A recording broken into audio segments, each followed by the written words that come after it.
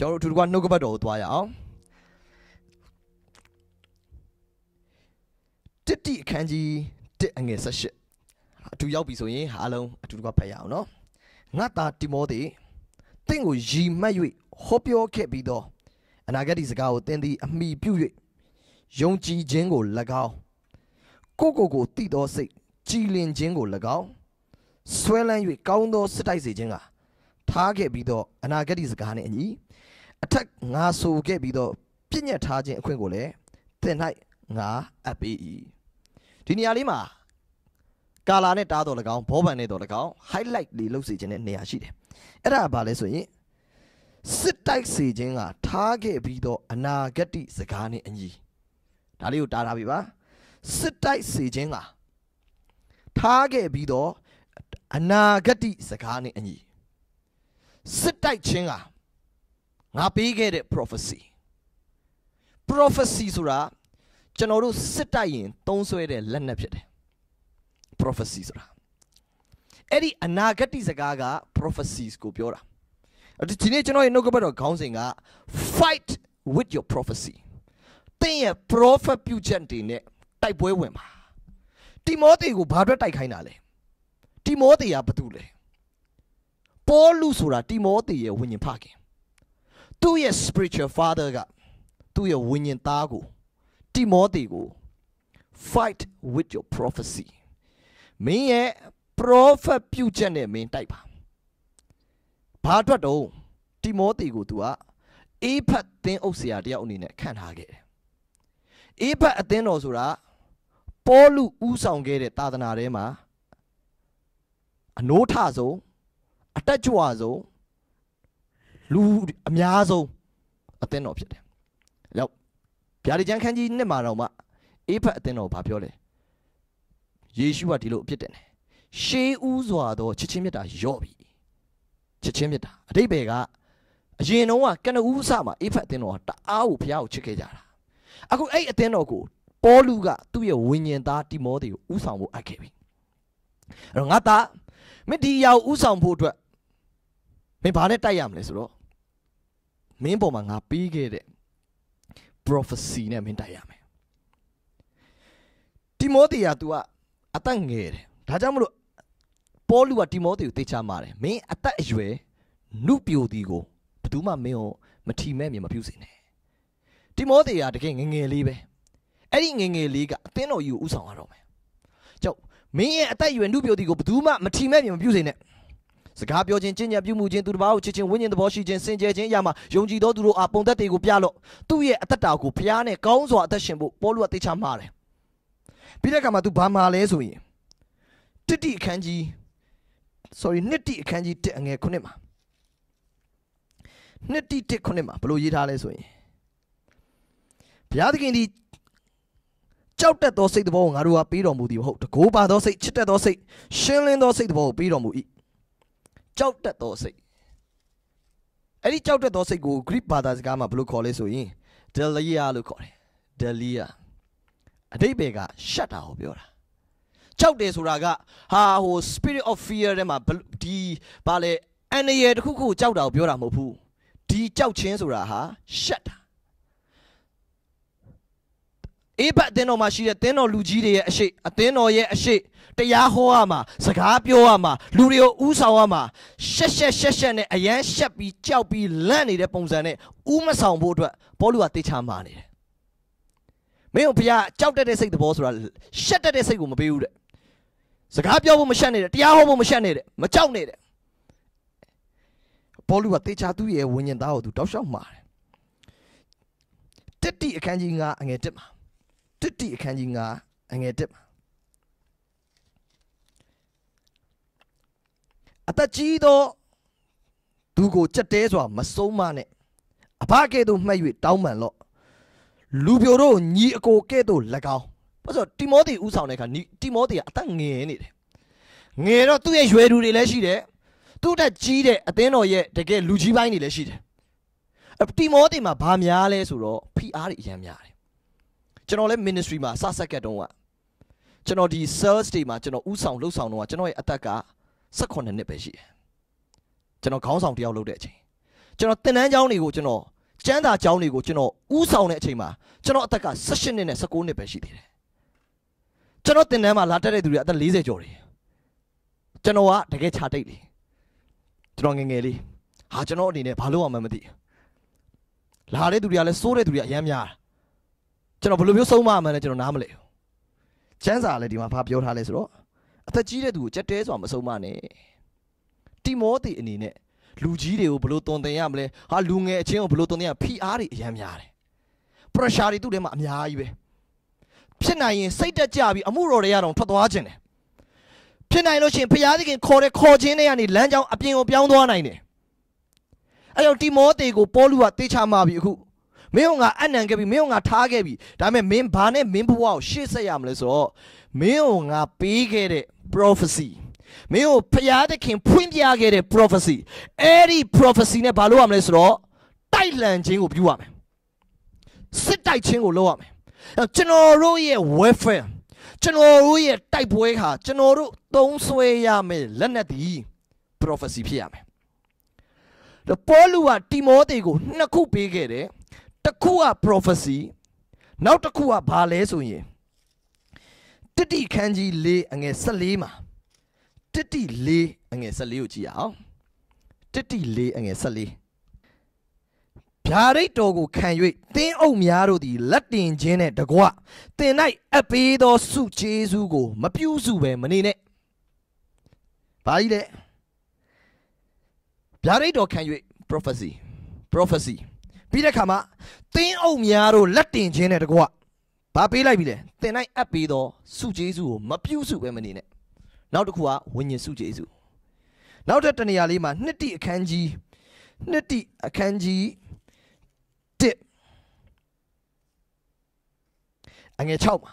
နှစ်တိအခန်းကြီး1အငယ်6မှာထို့သောဖြစ်၍ငါလက်တင်သောအဖြစ်တင်၌ဘုရားသခင်ပေးတော်မူသောဆုကို နှိုးဆော်မိအကြောင်းငါသည်တင့်ကိုသတိပေးဒီတစ်ခေါက်ကျတော့ပေါ်လူကတင်းအုပ်တွေလက်တင်တာမဟုတ်တော့သူ့ရဲ့ဝိညာဉ်ဖခင်ဟာလက်တင်ခြင်းနဲ့တကွဘာလွဲပြောင်းလိုက်ပြီလဲဘုရားသခင်တင့်ကိုပေးတော်မူသောဆုအဲ့ဒီဆုက spiritual gifts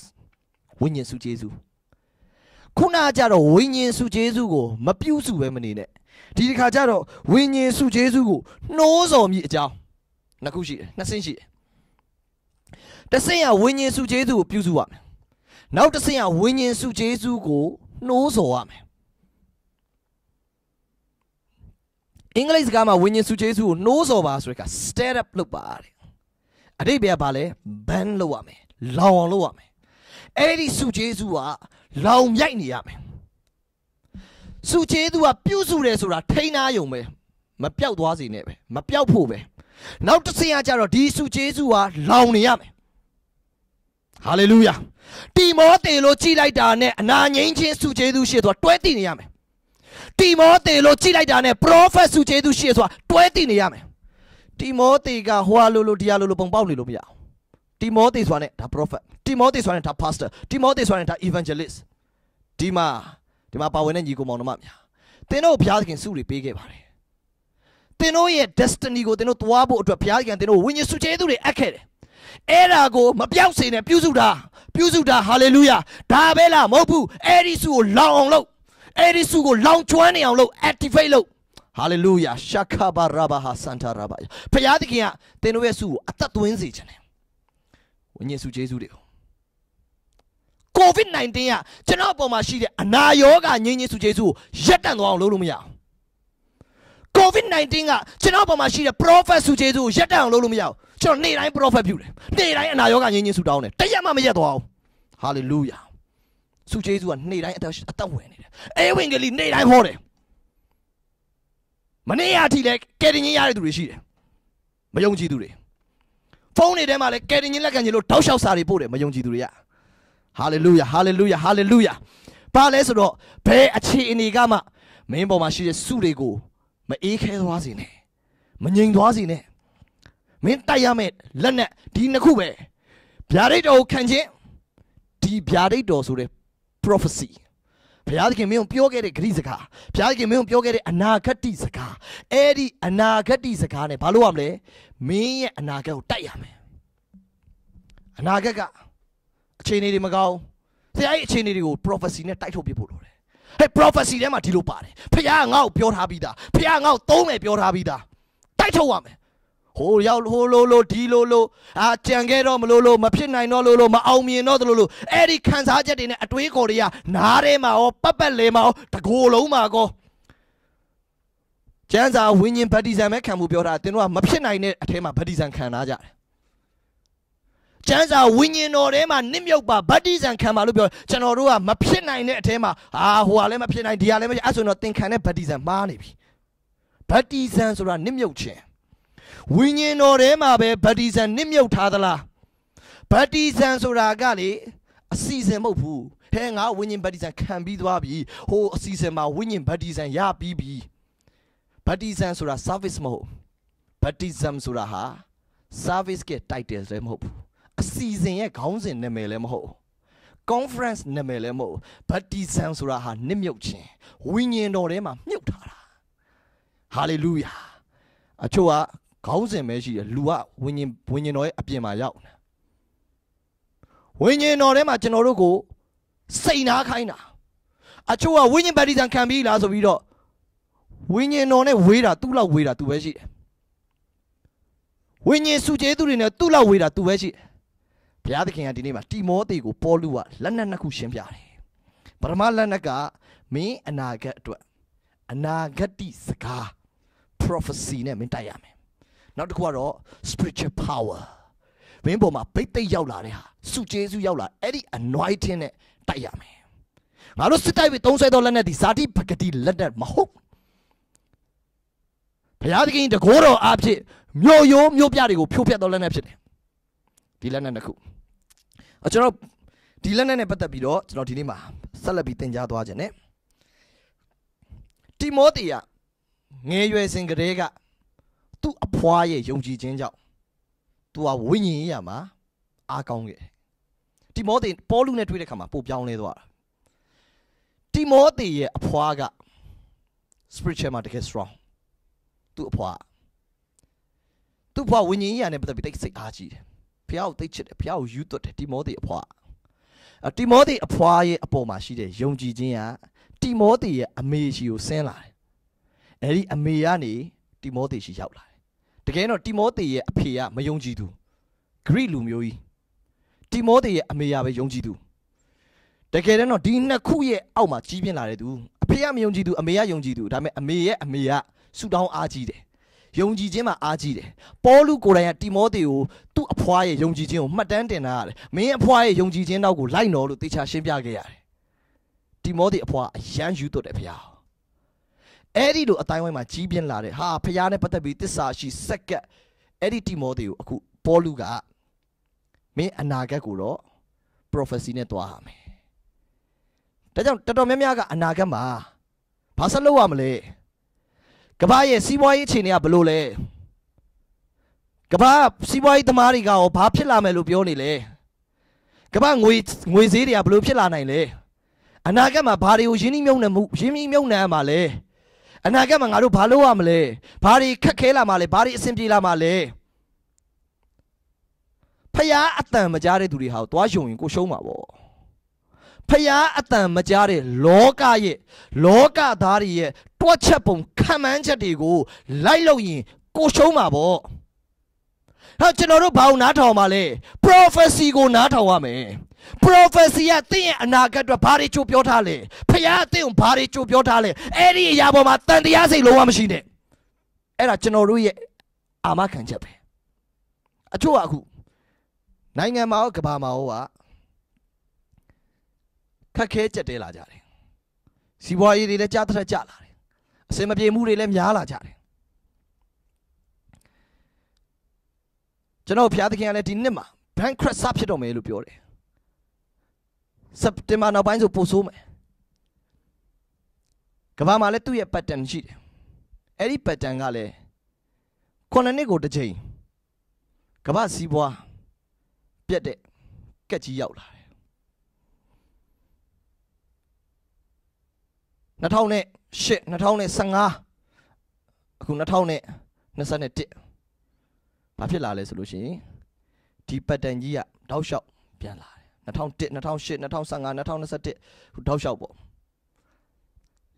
ဒီ2021နဲ့22ကြားထဲမှာပေါ့လူတွေကစီးပွားရေးရတဲ့အမျိုးမျိုးခံမှန်းအမျိုးမျိုးဘာဖြစ်မလဲမသိလူတွေကအခုချိန်မှာအတန်ပြောက်လာတယ်ဘာလို့မှမသိအ တန်ပြောက်လာတယ်မြန်မာနိုင်ငံမှာလည်းဘာလို့မှမသိအတန်ပြောက်လာတယ်ဘာဆက်လို့ရမှာလဲတိမောသေကိုပေါ်လူသေချာမှာလား fight with your prophecy အဲ့ဒီအတွက်ဘာမှမကြောက်နဲ့ဖျားအတန်ဣဇက်ကဂေရာမြို့မှာအစာခေါင်းပါခြင်းဖြစ်တော့ဖျားသခင်ကပြောတယ်အဲဂုတုတိုင်းပြိုမသွားတဲ့အဲ့မှာဆက်နေငါမင်းကိုကောင်းကြည့်ပေးမယ်အဲ့ဒါဖျားအတန်ပဲပထမတလားဘာမြင်ရမှာမဟုတ်ဒုတိယတလားလည်းမမြင်ရပြဿနာမရှိဘူးဖျားအတန်ကိုဆက်ယုံပဲ စိုးရင်စိတ်မရှိဘူး तू ဆက်နေတယ်တစ်နှစ်လည်းပြည့်ရော तू အကောင့်ပြန်တွက်လိုက်တာအစတရားကောင်းကြီးရတယ်ဟာလေလုယာအစတရားကောင်းကြီးပေးတယ်။ဖျားအတန်ကတိတ်အရေးကြီးဆုံးပဲ။ကျွန်တော်တို့ရဲ့အနာဂတ်ကိုတိုက်ပွဲဝင်ရမှာဖျားသခင်ရဲ့အတန်နဲ့ပဲ။မဖြစ်နိုင်တော့သလိုလိုမအောင်မြင်နိုင်တော့သလိုလို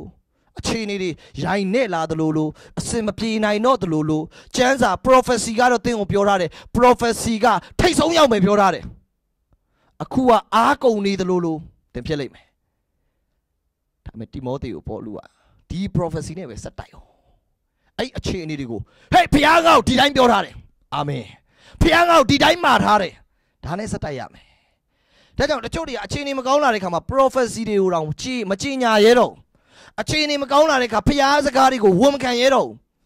စက်ဝန်ခံပါအောင်မလေးရှားနိုင်ငံမှာ COVID-19 ကြောင့် လူတွေအခြေအနေပိုပိုဆိုးလာတယ်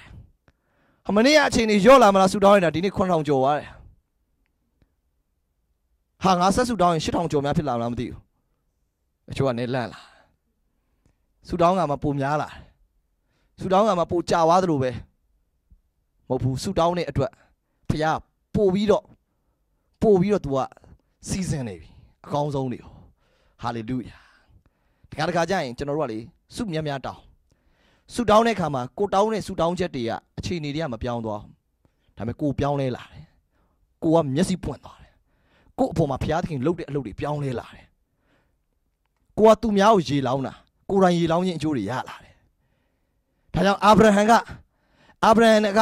တောရုံနဲ့ဂေါမောရအတွက်တောင်းတယ်ဒါပေမဲ့အာဘုရားသခင်တောရုံနဲ့ဂေါမောရကိုတော့ဖျက်ဆီးပလိုက်တယ် ဒါပေမဲ့လောတာကိုမဖျက်ဆီးဘူးဟာလေလုယာအာဗြဟံမိသားစုကမဖျက်ဆီးဘူးဆူတောင်းတဲ့သူရဲ့မိသားစုကမဖျက်ဆီးပါဘူးဒါတင်းတစ်ခါလေကြာရင်ကဘာကြီးအတွက်ကိုစားပြုဆူတောင်းတယ်အိုးမြန်မာမလေးရှားနိုင်ငံအတွက်ကိုစားပြုဆူတောင်းတယ်မြန်မာပြည်အတွက်ကိုစားပြုဆူတောင်းတယ်တင်းကတောင်းပြီးွားတဲ့အခါမှာတခါလေအခြေအနေတွေမပြောင်းလာတဲ့အခါမှာစိတ်တမကြနဲ့ဟုတ်ဘုရားသခင်ကလှပစွာလုပ်နေဆိုတော့သိကြမယ်ဆိုင်းတော်လေမျောလင်းတော့နောက်မကြပဲအေကံအမှန်ရောက်လာလိမ့်မယ်အာမင်အဲကြောင့်ဘုရားရှင်ဟာတိတ်ကောင်းမြတ်တယ်ဒီအခြေအနေမှာ negative တွေဝင်ခံမလားဟာငါအလုပ်ကလည်းရက်လိုက်ရပြန်ပြီကွာ ငါအလုပ်ကလည်းပိတ်လိုက်ရပြန်ပြီကွာအလုပ်ကအခုမြဖွင့်မလားဆိုပြီးတော့နှစ်ပတ်ပဲဖွင့်လိုက်ရတယ်ကွာပြန်ပိတ်ရပြန်ပြီနှစ်ပတ်ဖွင့်နှစ်လပိတ်ပြီးတော့နှစ်ပတ်ပြန်ဖွင့်ပြီးနှစ်လပြန်ပိတ်အဲ့ဒါနဲ့အစင်းမပြေပတ်စံတွေကဘလို့လွှဲရမှန်းမသိမြန်မာနိုင်ငံဝင်းကပတ်စံလွှဲဖို့အတွက်ဘလို့လွှဲရမှန်းမသိကြက်တဲမှုတွေဖြစ်လာငွေဈေးတွေကမငြိမ်အမျိုးမျိုးတင်တွေးလာပြီးတော့လောကရဲ့ပြဿနာတွေကိုထိုင်တွေးနေစိတ်တက်ကြမယ် လောကလူတွေရင်ဖွင့်တန်ကိုနားထောင်ရင်လဲ impartation ကူးဆက်တယ် transfer ဖြစ်မယ်သူစိတ်တက်ကြတာသူ့ရဲ့စိတ်တက်ကြခြင်းကိုယ်စိတ်တက်ကြခြင်းဖြစ်လာလိမ့်မယ်ဒါကြောင့်တနိုင်ငံလုံးခေါင်းပါတဲ့အချိန်မှာဣဇက်ကရေးလေကောင်းကြီးဖြစ်နေတာတနိုင်ငံလုံးခေါင်းပါတဲ့အချိန်အာဗြဟံကကောင်းကြီးဖြစ်နေတာတနိုင်ငံလုံးခေါင်းပါတဲ့အချိန်ယောသက်ကကောင်းကြီးဖြစ်နေတာဟာလေလုယာကျွန်တော်တို့ရဲ့ညီးတွားတန်တွေဟာသင်ရဲ့ prophecy မဟုတ်ပါဘူး သူတို့ရဲ့အနာဂတ်ရဲ့စီးပွားရေးခံမှန်းချက်တွေဟာသင်ရဲ့ prophecy မဟုတ်ပါဘူး။ဒါကြောင့်ကျွန်တော်ကျွန်တော်ကဘယ်တော့မှလေကျွန်တော်ဆူတောင်းပေးရတဲ့သူတွေရှိတယ်တခါလေစီးပွားလုပ်နေတဲ့သူတွေကိုဆူတောင်းပေးတာရှိတယ်ဘယ်တော့မှနိုင်ငံရေးနဲ့ကမ္ဘာရဲ့စီးပွားရေးတွက်ချက်မှုအတိုင်းကျွန်တော်ဘယ်တော့မှ idea မပေးဘူး။ဘာလို့ဆိုကျွန်တော်အဲ့ idea နဲ့မသွားဘူး။ hallelujah hallelujah စီးပွားရေးသမားတွေရေးတဲ့စာအုပ်တွေများစွာကျွန်တော်ဖတ်ဖူးတယ်။ဘယ်တော့မှအဲ့ဒီ idea တွေနဲ့သူတို့စကားမပြောဘူး။ဘာဖြစ်လို့လဲဆိုတော့ ကျွန်တော်အဲ့ဒီ idea တွေနဲ့ဘုရားအလုပ်လုပ်မှာမဟုတ်သူတို့ကယုံကြည်သူတွေမဟုတ်သူတို့ကဝိညာဉ်တော်နဲ့ပြည့်ဝတဲ့သူတွေမဟုတ်သူတို့ကအေလိရှဲမဟုတ်ဘူးဟာလေလုယာအေလိရှဲကပဲသိတာမနက်ဖြန်နေ့ဒီအချိန်ရောက်ရင်မင်းတို့ရဲ့အေရှမာရိမြို့တကားဝမှာဂျုံမောင်းရဲ့တစ်စိတ်ကိုငွေတစ်ချက်နဲ့ဝယ်ရမယ်မနေ့ကငွေစည်းတွေကြတယ်ကြတယ်ပြောတဲ့အဖွဲ့တွေအေလိရှေကမနှက်ဖြန်ကြအဲ့ဒီငွေဈေးကမင်းတို့သုံးလို့မရဘူးဆိုတဲ့တစ်ချက်ကဂျုံဆန်တစ်ခွက်ကိုရလိမ့်မယ်မူရောဆန်တစ်ခွက်ကိုရလိမ့်မယ်ဟာလေလုယာ ဟာလေလုယာဒါကြောင့်ကဘာမှာလူတွေဘလို့တွက်ချက်လဲကဘာမှာလူတွေဘာတွေကိုတွေးနေလဲအဲ့ဓာတွေကိုတွက်ပြီးတော့ငါလည်းဒီလိုလိုက်ပြင်ဆင်ရမယ်ငါလည်းဒီလိုလုပ်ရမယ်ဆိုပြီးတော့ဖျားအတန်ပျောက်သွားရင်အန္တရာယ်သိရှိတယ်ငါတော့ဒါကို invest လုပ်ရမယ်ငါတော့ဒါလုပ်ရမယ်ဆိုတော့သူတွေဟာရှုံးနိုင်မဲ့သူတွေဖြစ်တယ်ဘာဖြစ်လို့လဲဆိုတော့ဖျားအတန်မဟုတ်တဲ့အတွက်ရှုံးနိုင်မယ်ဘာဖြစ်လို့လဲဆိုတော့ကျမ်းစာပြောပြီးသား ငါစကားအပေါ်မှာအိမ်ကိုစောက်တဲ့သူဟာကြောက်ပေါ်မှာအိမ်စောက်တဲ့သူနဲ့တူတယ်။ဒါကြောင့်မလို့ဘာ crisis လာမလဲဒီလူကမပြိုဘူး။ဒါပေမဲ့ငါစကားပေါ်မှာမတီးတဲ့သူอืมอืมကိုကဒီလိုပြောနေပြီအာဘိုင်ဒန်ကတော့ဒါကြီးညာနေပြီအာရှီချင်းဖင်ကဒါပြောနေပြီကဘာအတန်တွေအများကြီးပဲဟာဟို business man ကဒီလိုပြောနေပြီအာဟို business man ဒီတိုင်းထွက်နေပြီဘာဘာဘာဘာတွေအကုန်ပြောနေပြီနောက်ဆုံးမှဘုရားသခင်ကသူတို့အားလုံးမှားတယ်ဆိုတော့ပြလိုက်မယ်ငါစကားကပဲ ကြောက်ပေါ်မှာအိမ်ဆောက်တဲ့သူနဲ့တူတယ်ငါစကားပေါ်မှာတိဆောက်တယ်သူကျွန်တော်တို့ကတော့ဘာနဲ့ဝေးလို့မရဘူးလေဒီနှုတ်ကပတ်တော်နဲ့လုံးဝဝေးလို့မရဘူးဖះအတန်နားထောင်ခြင်းနဲ့ဝေးလို့မရဘူးတချို့ကဖះစကားကိုများအပေါ်စားစကားလို့ထင်နေလားမသိဘူးအဲ့ဒါကြတော့အချိန်မပေးဘူးဒီနေ့အခြေအနေတွေမှာအားပေးနေတဲ့နှုတ်ကပတ်တော်မရှိတဲ့မပါတဲ့ပညာရှင်ရဲ့စကားကိုခံယူပြီးဖះရဲ့စကားကိုကြတော့ကျွန်တော်တို့ဟာပေါ်ပေါ်ဆဆထားတတ်တယ် နောက်ဆုံးမှာအနိုင်ယူသွားမှာနှုတ်ကပတ်တော်ဖြစ်တယ်နောက်ဆုံးမှာအနိုင်ရမှာဘုရားသခင်ရဲ့စကားတော်ဖြစ်တယ်ကောင်းကင်နဲ့မြေကြီးမတီတော်လဲငါစကားတည်လိုက်မယ်အင်္ဂလိပ်စာမှာဘလို့အင်္ဂလိပ်ကျမ်းစာမှာဘလို့ရေးလဲဆိုလို့ရှိရင်ကောင်းကင်နဲ့မြေကြီးက expire ဖြစ်တော်လဲတဲ့ငါစကားကတော့ expire မဖြစ်ဘူးတဲ့ hallelujah အားလုံးလူတွေပြောတဲ့စကားတွေအားလုံးဘာဖြစ်သွားမလဲတရက်ကျရင် expire ဖြစ်သွားမယ်ဒါပေမဲ့ဒီ prophecy က expire မဖြစ်ဘူးဘယ်တော့မှမပြည့်စည်စေရဘူးဖြစ်ကိုဖြစ်မှာကျွန်လူတွေပြောတဲ့စကား ဟုတ်တယ်လို့လို့နဲ့တရက်နှစ်ရက်ဟုတ်ပေမဲ့၃၄ရက်လဲကြာလဲကြာ expire ဖြစ်သွားပြီမှုတ်တက်သွားပြီသုံးလို့မရတော့ဘူးညီကိုမောင်နှမများသင်ကဩတနေ့တနေ့ဘာစကားပေါ်အခြေခံနေလဲဘသူအတန်ကိုသိချနားထောင်နေလဲအဲ့ဒီအတန်ကိုနားထောင်ပြီးရင်စိတ်ချမှုအပြည့်ရှိလိုက်တော့ငါမရှုံးတော့အာမင်ငါမရှုံးနိုင်တော့ဘူးဟာလေလုယာဖခင်ရဲ့စကားကိုကြားပြီးရင်စိတ်ချမှုအပြည့်ရှိပါဒါကြောင့်ကျွန်တော်တို့ဘာလုပ်ရမလဲဆိုတော့လေ prophet ပြုချက်တွေကိုစေလွတ်ပါ ကျွန်တော်တို့စေလွတ်ရမယ်ဒီချိန်မှာငါ့ကိုဖျားရှင်ကကောင်းကြီးပေးမယ်ပြောထားပြီးသားငါလုပ်ငန်းတွေကိုဖျားချီးမြှောက်မယ်ပြောထားပြီးသားဟေးဘာပြဿနာတွေရမှာငါလုပ်ငန်းတွေမကြစေရအောင်ငါ့ကိုဖျားသခင်ကကောင်းကြီးပေးမယ်လို့ပြောထားတယ် ငါ့ကိုစီးပွားရေးမှာထိတ်ကိုရောက်စီမယ်ပြောထားတယ်ငါ့ကိုအမှုတော်မှာထိတ်ကိုရောက်စီမယ်ပြောထားတယ်ဘေးရာကမှငါ့ကိုဘောင်ခတ်လို့မရဘေးရာမှငါ့ကိုကန့်သက်ထားလို့မရကျင်ညာမယ် prophecy ကိုကျင်ညာမယ်ဒါကြောင့်တိမောသေကဘာကြုံရလဲ negative situation တွေကိုကြုံရတယ်ဟာငါမဖြစ်နိုင်တော့ဟဲ့ငါဘယ်လိုလုပ်ရမသိဟဲ့ငါဒီဒီလူကြီးတွေကိုငါဘယ်လိုဆုံးမမသိငါပြောရင်လည်းနားထောင်မှာမဟုတ်အားငယ်စိတ်တွေတိမ်ငယ်စိတ်တွေအိုးကြောက်ရွံ့စိတ်တွေနဲ့လန့်ပြီးတော့ရှက်ပြီးတော့ မလုံရဲတဲ့စိတ်တွေအများကြီးရှိတယ်။ဟိုလူငယ်ချင်းချင်းတွေကလည်းမလေးစားဘူး။လူကြီးတွေကလည်းငါ့ကိုအထင်မကြီးငါဘယ်လိုလုပ်မလဲ။လူကြီးတွေအထင်ကြီးအောင်ငါပုံစံစတိုင်ပြောင်းပြီးနေရမှာလား။စတိုင်ပြောင်းဖို့မဟုတ်ကျွန်တော်တို့ရဲ့အထက်ကအတွင်းသဘောကိုပြောင်းဖို့ဖြစ်တယ်။ဟာလေလုယာ။တခါလေအပြင်ပိုင်းတံတန်တွေအကုန်ချင်းနေ။အတွင်းထဲကသဘောမပြောင်းလဲလာတဲ့ခါဘာမှထူးခြားမှုမရှိတာ။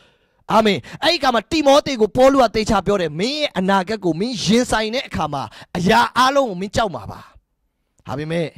မင်း prophecy နဲ့တိုက်ပါ prophecy နဲ့တိုက်ကိုတိုက်ရမယ် ကြောင့်သင်ဒီနေ့မှာ negative တွေအများကြီးပဲဟဲ့ငါဒီတိုင်းဆက်နေရင်ငါသွားပြီထင်တယ်အဲ့ဒါ prophecy နဲ့တိုက်နေမှာမဟုတ် prophecy နဲ့တိုက်ရမယ် hallelujah ကိုကိုကိုကိုပြောကိုရဲ့နာမည်နဲ့ကိုတက်ပြောဟေး Joshua a prophecy နဲ့မင်းတိုက်ဖို့လိုတယ်အာမင်စီတော့စီပဲဒါပေမဲ့ prophecy ဗိသိက်စီလဲလိုတယ် prophecy လဲလိုတယ် hallelujah ကျွန်တော်ဘုရားမှာ prophecy နဲ့တိုက်ရမယ်ကြင်ညာရမယ် prophet ပြုချက်တွေကိုမမေ့ပါနဲ့ဆက်ပြီးကြင်ညာပါအောင်ဒါကြောင့်မလို့ဟဘကုတ်ခန်းကြီးနှစ်တက်မှာဘယ်လိုရေးထားလဲ prophet ပြုချက်တွေကိုရေးထားပါတဲ့ကြောက်တင်ဘုံမှာလူတိုင်းဖတ်လို့ရအောင်တဲ့ခါလီကိုပြောဖို့မေ့ရင်တော့ဘေးကလူပြောပေးလိမ့်မယ်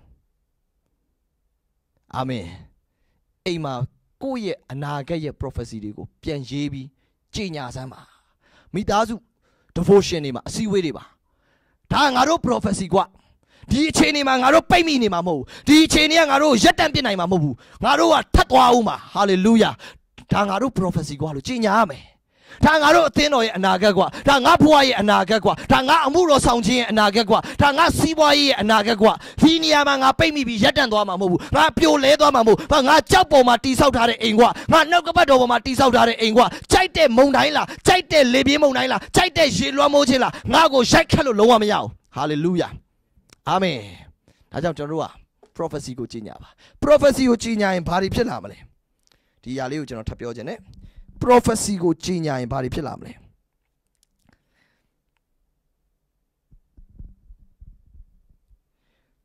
prophet ပြုချက်ကိုသင်စေလွတ်ရင်ဘာဖြစ်မလဲဆိုဝိညာဉ်တိုက်ပွဲဖြစ်လာမယ် spiritual warfare မစေလွတ်ရင်နတ်ဆိုးကဆက်ပြီးအုပ်ဆိုးထားမယ်မဲ့ prophet ပြုချက်ကိုကြီးညာတဲ့အချိန်ကောင်းငင်တမန်နဲ့နတ်ဆိုးရဲ့ကောင်းငင်တမန်တွေကတိုက်ပွဲဖြစ်တယ်အဲကျွန်တော်တို့အားလုံးပဲ ဘေးကိုသွားမလဲဆိုရင်ရှမသဲအခန်းကြီး၄ရှမသဲအခန်းကြီး၄မဿဲလေးအခန်းငယ်1မှာထိုအခါမာနဤစုံစမ်းသွေးဆောင်ခြင်းကိုခံစေမိအကြောင်းဝိညာဉ်တော်သည်ယေရှုကိုတောသို့ပို့ဆောင်တော်မူ၏ယေရှုခရစ်တော်ကတောထဲမှာရက်ပေါင်း40မာနရဲ့သွေးဆောင်ခြင်းကိုယေရှုတောက်လျှောက်ခံ ယေရှုကအသက်30ကြာမှတန်ရှင်းသောဝိညာဉ်တော်ကိုရတယ်အဲ့ဒီဝိညာဉ်တော်ရတဲ့အချိန်မှာမာနက်ကစပြီးယေရှုကိုသွေးဆောင်တယ်အသက်30အထိမာနက်ကယေရှုကိုဘာလို့စိတ်မဝင်စားလဲဘာကြောင့်လဲဆိုတော့အခန်းငယ်19အခန်းကြီး3အငယ်19မှာဤသူကငါနှစ်သက်မြတ်လို့ရငါဤချစ်သားပေသည်ဟုကောင်းကင်ကအတန်တော်ဖြစ်လေ၏ဤသူကငါနှစ်သက်မြတ်လို့ရငါဤချစ်သားခမဲတော်ကယေရှုကို ကောင်းကင်ကနေပြီးတော့ကောင်းကင်တကားဖွင့်ပြီးကြင်ညာတယ်ဝိညာဉ်တော်နဲ့ဖိတ်သိမ့်လိုက်တယ်ပြီးတဲ့အခါမှာယေရှုကိုခမဲတော်ကကြီးညာတယ်ဒါငါသားတဲ့ငါနှစ်သက်မျက်နှိုးတဲ့ငါချစ်သား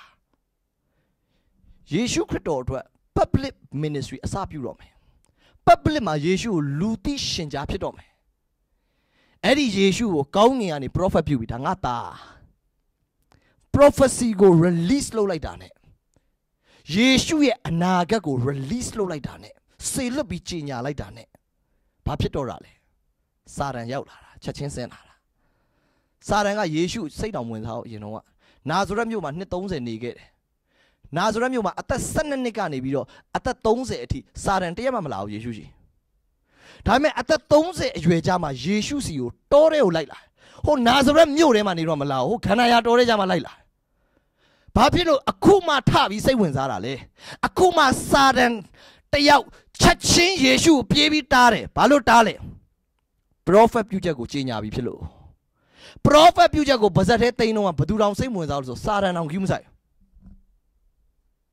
စာရန်တောင်စိတ်ဝင်စား prophet ပြုချက်ကိုကြီးညာနဲ့ဝိညာဉ်တိုက်ပွဲကတန်းစားတော့တာအာမင်ယေရှုကသူ့ရဲ့ public ministry မစခင်မှာ ယေရှုအသွေးဆောင်ခံရတယ်။ဘာဖြစ်လဲ။ဘုရားသခင်ရဲ့ prophet ပြုချက်တွေဆေလွတ်လိုက်တာနဲ့စာတန်ချက်ချင်းအလုပ်လုပ်တော့တယ်ပြဿနာတွေကိုကျွန်တော်တို့ကြုံတဲ့အခါမှာမြန်မာနိုင်ငံမှာလည်းအခုဖိအားတွေအမျိုးမျိုးကြုံရတယ်အကြက်တဲတွေကြုံရတယ်ဘာဖြစ်လို့လဲဖခင်ကဘာကြီးရဲ့ public တစ်ခုလုံးချပြတော့မယ် နိုင်ငံမှာဖခင်ဘယ်လောက်ကောင်းချီးပေးမလဲဘယ်လောက်ချီးမြှောက်တော့မလဲဆိုတော့နေ့ရက်တွေလာတော့မှာဖြစ်တဲ့အတွက်အမြဲတမ်းဘာကြုံရလဲဆိုတော့စာတန်ရဲ့အသေးအတန်အားကြိုးမှန်တက်တဲ့စူးစမ်းတဲ့နေ့ရက်တွေရောက်လာတယ်ဒါဝိတ်ကိုရှမွေလကဘယင်ဖြစ်မယ်လို့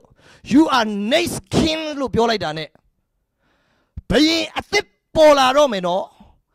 ဖခင်ရဲ့အလိုတော်နဲ့အညီဥဆောင်မဲ့ဘယင်ပေါ်လာမယ်လို့သူ့ကိုဒါဝိဒ်ကို prophet ပြုတ်လိုက်တာ ਨੇ prophet ပြုတ်ချက်ပြောထုတ်လိုက်တာ ਨੇ ချက်ချင်းပဲစာတန်ချက်ချင်းအလုပ်လုပ်တယ်အဲ့ဒါပါလေဂေါလိယက်ကချက်ချင်းစိန်လာခေါ်တယ်နိုင်ငံအောင်ညီအကိုတွေကဒါဝိဒ်ကိုချက်ချင်းမုန်းသွားတယ်စအကောင်းကြီးဒါဝိဒ်အပေါ်မှာ prophet ပြုချက်ကြီးညာနဲ့ညီအကိုတွေကချက်ချင်းမုန်းတယ် ဂေါလိယက်ကချက်ချင်းစိန်ခေါ်တယ်ရှောလူကဒါဝိဒ်ကိုလိုက်တက်ဖို့ကြံစီတယ်သူ့မှာတရိษံတကောင်လိုပဲတောထဲမှာပတ်ပြေးပြီးနောက်ဆုံးတချင်းဆက်တာတော့မှသူ့ကိုယ်သူတမင်တရေလို့သူကတချင်းဆက်ဘာဖြစ်လို့အနောက်မှာမုတ်ဆိုးတကောင်လိုက်တက်နေတယ်ဘာဖြစ်တော့လဲ prophet ပြုချက်တွေစေလွတ်လာတဲ့အခါမှာဘာရောက်လာတော့လဲစာတန်ချက်ချင်းပဲဒီ prophet ပြုချက်မပြည့်စုံဘူးလှုပ်ရှားတော့တယ်။ အဲကြောင့်စာတန်လှုပ်ရှားတာကိုကြည့်ပြီးငါရှုံးပြီလို့မထင်နဲ့။အဲ့ဒါမကြခင် prophet ပြုချက်ပြည့်စုံတော့မှာ။အဲဆို prophet ပြုချက်ဒီစေလွတ်တိုင်းမှာ spiritual warfare ထားဖြစ်တယ်။အဲ့ဒီညီကိုတွေမုန်းတဲ့ဂေါလိရဲ့စိန်ခေါ်တဲ့ရှင်သေးတွေဝင်နေရတောထဲမှာဒါဝိဒ်ကိုချက်ချင်းပဲတတ်ဖို့အတွက်ရှာကြံတယ်တရိษံတော်မှချက်ချင်းတက်ကြွလာတယ်ဒါဝိဒ်ကိုတတ်ဖို့ညီကိုတွေမုန်းတယ် တရိษံတွေလည်းတတ်ဖို့ကြိုးစားလာပြီဂေါလိရဲ့လည်းတတ်ဖို့ကြိုးစားလာပြီရှောလူလည်းတတ်ဖို့ကြိုးစားလာပြီဒါပဲလားမပြီးဘူးဓမ္မရာဇဝင်ပထမဆောင်အခန်းကြီး30မှာဇိကလတ်မြို့ကိုလာပြီးတော့ရန်သူတွေလာတိုက်ပြီးတော့သူတို့ရဲ့သားမယားတွေအကုန်ပါသွားတော့ဒါဝိဒ်ရဲ့တပည့်တွေဒါဝိဒ်ရဲ့ညီအကိုအတိုင်းဝိုင်းလူ600ကဒါဝိဒ်ကိုကြောက်ခဲနဲ့ပေါက်တက်ဖို့ကြိုးစားတယ်အခုဒါဝိဒ်ကအဝေးရသူတွေပဲမုန်းတာမဟုတ်အဝေးရလူတွေကိုမုန်းတော့အနီးရောက်လာတဲ့သူတွေအကုန်မုန်းလာပြီ ဒါဝိဒ်ကိုတတ်မယ်ကြီးပဲဒါဝိဒ်ကနောက်ဆုံးစဉ်းစားတယ်ငါ့ကိုမတတ်ချင်တဲ့သူရောရှိသေးရဲ့လားအားလုံးတယောက်မှမကြည့်ဘူးဒါဝိဒ်ကိုအနီးရလူလည်းမကြည့်တော့ဘူးအဝေးရလူလည်းမကြည့်ဘူးဒါဝိဒ်ဘဝမှာဘာမှလုံခြုံမှုမရှိတော့ဘူးဒါပေမဲ့အဲ့ဒီဖိအားတွေအဲ့ဒီပြဿနာတွေရောက်လာတဲ့အခါမှာစိတ်တမကြနဲ့ fight with your prophecy တင်းရဲ့ prophecy နဲ့စက်တိုင်အောင်တင်းဘယင်ဖြစ်မယ်ဆိုဘယင်ဖြစ်မယ်ပဲဒီအခြေအနေတွေကတင်းရဲ့နောက်ဆုံးလေးမဟုတ်ဘူးအာမင်ဒီအခြေအနေတွေကတင်းရဲ့နောက်ဆုံးဇလန်းမဟုတ်ဘူး hallelujah hallelujah အခုမှ season 1ပဲရှိသေးတာနောက်တစ်2ကဘာမှလဲဓမ္မရာဆိုရင်ဒုတိယဆောင်အဲ့မှာဘာစားဖြစ်ပြီလဲဒါဝိဒ်ကိုယူဒရှင်ဘရင်နေရာမှာစချီးမြှောက်ပြီဣသရေလတနိုင်ငံလုံးရဲ့ဘရင်ဖြစ်ပေမဲ့ယူဒဘရင်အနေနဲ့စချီးမြှောက်ခံအဲ့ဒါဘာလဲဆိုတော့အဲ့ဒါလက်တဆုပ်စာမိုးတိမ်လူလက်နဲ့တူတဲ့မိုးတိမ်မကြခင်သဲထွန်စွာသောမိုးရွာသွန်းနေမယ်ဆိုအတိတ်ပဲအဲ့တော့ဘာတွေ့ရလဲဆိုတော့ဒါဝိဒ်ဘုရားမှာဣသရေလတနိုင်ငံလုံးဘရင်ဖြစ်ပေမဲ့ ဆက်ဆချင်းတော့လူအ ਨੇ စုကိုအုပ်ချုပ်တဲ့ခေါင်းဆောင်ဖြစ်လာတယ်ဒါဝိဒ်ကအစဘသူ့ဟိုမှမအုပ်ချုပ်အောင်တိုးပဲအုပ်ချုပ်ရတာတိုးတွေကိုအုပ်ချုပ်တဲ့ဒါဝိဒ်ကရှမွေလကတနိုင်ငံလုံးရဲ့ဘရင်ဖြစ်မယ်လို့ကြေညာတာနဲ့နောက်တစ်နေ့ဘာတွေကိုစအုပ်ချုပ်လာဆိုလူရောက်400ကိုစအုပ်ချုပ်လာတယ်လူ400ငါတို့ဥဆောင်ပေးပါလို့လာပြောကြတယ် အဲ့ဒီကနေပြီးတော့လူ600ကငါတို့ဥဆောင်ပေးပါလို့လာပြောလာအဲ့ဒါသတင်းကောင်လူ400ကနေလူ600လူ600ကနေယူဒလူမျိုးယူဒလူမျိုးကနေဣသရေလတနိုင်ငံလုံးရဲ့ဘုရင်ဖြစ်လာတယ်အဲ့ဒါ prophecy အတွက်တိုက်တာဒါကြောင့်လူ400အုပ်ချုပ်နေတဲ့ကာလမှာလဲ400ငါရဲ့ဇသိန်းကန်းလို့မထင်နဲ့600အုပ်ချုပ်တဲ့ချိန်နဲ့600ငါဇသိန်းကန်းလို့မထင်နဲ့တယောက်နှစ်ယောက်ဥဆောင်ခွင့်ရတာက ဒါသင်ရဲ့ prophet ပြုချက်ကို6နင်းခွင့်ရနေပြီ hallelujah တနိုင်ငံလုံးနဲ့တယောက်ကိုသင်ဥဆောင်ခွင့်ရပြီဒါပေမဲ့တစ်ဖက်မှာတော့မုန်းတဲ့သူတွေတပြုံကြီးပဲမကြခင်အဲ့ဒီမုန်းတဲ့သူတွေကသင်နာမှာငါတို့ကိုပြန်ဥဆောင်ပေးပါလို့ပြောလာလိမ့်မယ်ဒါကြောင့် prophet ပြုချက်တွေကိုမမေ့နဲ့ဒီအချိန်ကအရန်သွေးအေးလာပြီဒီအချိန်ကထင်သားတယ်လို့လဲမြန်မြန်မပြီးလာဘူးထင်သားတယ်လို့လဲနိုင်ငံတွေကဘာမှာကြုံနေရတဲ့အခြေအနေကမြန်မြန်မရက်သွားဘူး သွေးအေးလာတဲ့အချိန်အဲ့ဒီလိုအချိန်မှာဟာငါတို့အသင်းတော်အတွက်ဘုရားသခင်ပြောထားတဲ့စကားဒီလိုမဟုတ်ပါဘူးငါဘဝအတွက်ဘုရားပြောတာဒီလိုမဟုတ်ပါဘူးငါလွန်ခဲ့တဲ့3နှစ်လောက်ကငါယူပိုင်ုံထားတာဒီနှစ်ကဒီလိုမဟုတ်ပါဘူးလို့သင်တွေးရင်တွေးမယ်ဒါပေမဲ့ဒီအချိန်မှာဒီလိုမဟုတ်ပါဘူးဆိုတဲ့စကားတွေကိုမေ့ပြီးဖြစ်ကိုဖြစ်ရမယ်ဖျားငါ့ကိုသုံးဝသုံးသုံးသုံးရမယ်လူ600စလုံးကငါ့ကိုကြောက်ခဲနဲ့ပေါက်တက်ချင်ပေမဲ့ငါဒီနိုင်ငံရဲ့ဘယင်လို့ကြီးညာပြီးဘယင်ဖြစ်ကိုဖြစ်ရမယ်ဖြစ်လဲဖြစ်လာကိုဘုရားဘာပြောလဲဒါဝိဒ်ကို မင်းရဲ့ပလင်ကားတဲ့ကောင်းကင်ကာလကဲ့သို့နေဆာထာဝရပလင်ဖြစ်မယ်ဟာဖြစ်လဲဖြစ်ရဘယ်တော့မှမကြရတော့အာမင်ဖြစ်လဲဖြစ်ကောသူ့ပလင်ကိုဘယ်သူမှလူလို့မရအဘရှလုံစမ်းပြီးလူတာလူမရဘုရားကြီးညာလိုက်တယ်ကောင်းကင်ကာလကဲ့သို့နေဆာထာဝရဟာဒါဆိုဒါဝိဒ်ကကောင်းကင်အောင်ပြန်သွားရင်သူ့ပလင်သူမှမထိုင်ရမဟုတ်ဘူးနှစ်တစ်ထောင်ပြန်လာရင်တော့မှဣသရေလနိုင်ငံရဲ့ဘုရင်ကဒါဝိဒ်ပဲဖြစ်မှာကျမ်းစာပြောထားပြီးသား ဒါဝိဒ်ကဣသရေလနိုင်ငံရဲ့ဘုရင်ဖြစ်မယ်နှစ်တစ်ထောင်ကာလမှာယေရှုပြန်လာရင်တော့ယေရှုကဣသရေလကိုမအုပ်ချုပ်ဘူးဒါဝိဒ်ကိုအပ်ထားတာဘာပလင်လဲနေဆာထာဝရပလင်ဣသရေလဘုရင်တော့ဖြစ်ချင်တော့မရတော့ဒါဝိဒ်ကိုအပ်ထားပြီဘာလဲ prophecy သင်ရဲ့ prophecy ကိုမမေ့နဲ့သင်အပေါ်မှာဘုရားခင်ပြောခဲ့တဲ့ prophecy နဲ့တိုက်ပါဒီအချိန်လေးမှာရှက်တာတွေကျုံမယ် မလုံနိုင်တော့ဘူးလို့ခံစားချက်တွေကြုံလာမယ်ဒါပေမဲ့အဲ့ဒီခံစားချက်တွေကိုတိုက်ထုတ်ဖြစ်ဒါကြောင့်ဒါဝိဒ်ရဲ့အကြီးမားဆုံးရန်သူက ဂေါလိယမဟုတ်ရှောလူမဟုတ်ဒါဝိဒ်ရဲ့ရန်သူကဒါဝိဒ်ရဲ့နှလုံးသားပဲငါရှုံးပြီလို့ဆုံးဖြတ်တဲ့နေ့ရှုံးပြီပဲငါမရှုံးกว่าဆိုမရှုံးဘူးပဲဟာလေလုယာငါ့ကိုဘုရားအောင်ပွဲခံစေအောင်မယ်ဆိုအောင်ပွဲခံရအောင်မယ်ငါတိုင်းပြည်ကိုအုပ်ချုပ်ရမယ်ဆိုအုပ်ချုပ်ရအောင်မယ်ဆက်သွားရအောင်ဟာလေလုယာဒီမှာရှင့်ကြီးကမစိတ်မလျှော့နဲ့အောင်နောက်ပြန်မဆုံးနဲ့အောင်နောက်ပြန်မလဲနဲ့အောင်အာမင် ဘုရားတင်ကိုချီးမြှောက်အောင်မယ်ဆိုချီးမြှောက်အောင်မယ်မြန်မာနိုင်ငံမှာ revival ဖြစ်အောင်မယ်ဆိုဖြစ်အောင်မယ်လက်မလျှော့နဲ့အောင်ဟာလေလုယာဟာလေလုယာအာမင်ဘယ်နှယောက်ယုံကြည်လဲဘယ်နှယောက်က prophet ပြုချက်တွေနဲ့တိုင်အောင်မလဲအာမင်အာမင်အကျွန်တော်နောက်တစ်ယောက်ကနောက်တစ်နေရာဘာတူလဲဆိုရင်ယောသက်ယောသက်ကညီအကိုတွေကိုသူ့ prophecy သွားပြောလိုက်တာနောက်နေ့ညီအကိုတွေကတခါတည်းတွင်းနေထဲတော့တာပဲ နောက်နေ့ရောင်းစားခံရတော့တာပဲဒါမဲ့ဒါအဆုံးမဟုတ်ဘူး prophet ပြုချက်တွေ release လုပ်လိုက်တိုင်းမှာစေလွတ်လိုက်တိုင်းမှာဘာဖြစ်လဲဝိညာဉ်တိုက်ပွဲထားဖြစ်တယ် spiritual warfare ဖြစ်တယ်ယာကုပ်ကိုဣဇက်ကကောင်းကြီးပေးပြီးတာနဲ့အေးတော့အထဲထဲမှာချက်ချင်းတတ်ဖို့အတွက်ဆုံးဖြတ်လာတယ်ကြည့်နော်ကောင်းကြီးပေးတယ်ကွာဆို prophet လည်းပြီးတော့မင်းရတဲ့မြေကြီးရဲ့စီဥကို၎င်းနဲ့မိုးကောင်းခင်ရဲ့နှင်းခဲကို၎င်းမင်းရမယ်တဲ့ prophet ပြုချက်တွေလည်းကြီးညာပလိုက်ကော prophet ပြုချက်တွေကိုကြီးညာတဲ့ဝိညာဉ်တိုက်ပွဲဖြစ်ပြီအာမင်ဟာ prophet ပြုချက်တွေကြီးညာတိုက်ပွဲဖြစ်လာမယ်သင်ရပိုင်ခွင့်တွေရဖို့အတွက်ကောင်းကင်တမန်တွေဆင်းတိုက်လာမယ် spiritual warfare ဖြစ်ပြီစာတန်လည်းပါမှာကြောက်လာမယ်ဘာမှတိုက်တာကောင်းတယ်လို့မထင်နဲ့တိုက်တာမှကောင်းတာနောက်တနေရာမှာ ဣသရေလတွေကဘာဘူးလုံနိုင်ငံကနေပြန်ရမယ်ဆိုတဲ့ prophet ပြုချက်ရှိတယ်အဲ့ဒါဘယ်လောက်မှလဲဆိုနှစ်80အကြာမှာနှစ်ပေါင်း80လွန်ရင်တဲ့ဘာဘူးလုံကနေပြီးတော့ဣသရေလတွေအိမ်ပြန်ရမယ်နှစ်80လဲပြည့်ကန်နေရောဒန်ယေလကဒီ prophet ပြုချက်ကိုစပြီးပြန်စီလွတ်တယ်ယေရမိကတော့အရင်က prophet ပြုခဲ့တယ်ဒါပေမဲ့အဲ့ဒီ prophet ကြီးကသွေးအေးသွားပြီအရင်အေးခဲသွားပြီအဲ့ဒါဒန်ယေလအသက်ပြန်သွင်းတယ် အဲ့ prophecy ပဲပြန်ချိန်ညာတယ်အဲ့ဒါဘာလဲ fight with your prophecy သင်တို့ရဲ့ prophet ပြုချက်နဲ့တိုက်တာ तू တိုက်ပြီ तू ချိန်ညာပြီဟင်ငါဒီလိုဖြစ်မှာဟင်ငါ့ကိုဖျားဒီလိုသုံးမှာဟင်ငါတို့လူမျိုးတွေကဣသရေလနိုင်ငံကိုပြန်ခွင့်ရမှာယေရုရှလင်မှာငါတို့ဗိမာန်တော်ပြန်ဆောက်မှာကွာ तू ဆူတောင်းတယ်ကောင်းကင်မှာဘာဖြစ်တော့လဲ spiritual warfare ထားဖြစ်တယ် hallelujah hallelujah ဒီနေ့သင် prophet ပြုချက်ထဲမှာသင်ရှောက်လန်းခြင်းဘာစလုပ်ရမလဲ prophet ပြုချက်ကိုနှုတ်ကများများကြင်ညာများများပြောထုတ်ဝန်ခံအောင် ဝန်ခံအောင်အာမင် Israel တွေကအနာဂတ်မှာအနာဂတ်ဆိုတာကျွန်တော်တို့ခေတ်ပေါ့ကျွန်တော်တို့ဒီကာလမှာနိုင်ငံပြန်ရမယ်လို့ကျမ်းစာမှာ prophet ပြုချက်ရှိတယ်။ဘာလို့ဆိုယေရှုပြန်လာရင် Israel ကိုဆင်းမှာယေရှုပြန်လာရင်တန်လွင်တောင်ပေါ်မှာယေရှုဆင်းမှာယေရှုပြန်မလာခင်ယေရုရှလင်က Israel တွေလက်ထဲကိုပြန်ရောက်မယ်တဲ့ prophet ပြုချက်ရှိတယ်။ ယေရှုပြန်မလာခင်ဣသရေလလူမျိုးတွေမှာနိုင်ငံပြန်ရှိမယ်လို့ပြောထားတယ်။ခတ်တာက Israel က AD 80တဲ့နိုင်ငံမရှိတော့ဘယ်နေ့အထိလဲဆိုတော့1948အထိ